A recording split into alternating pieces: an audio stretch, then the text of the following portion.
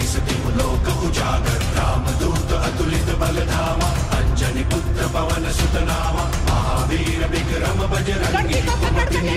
सुमति के संगी।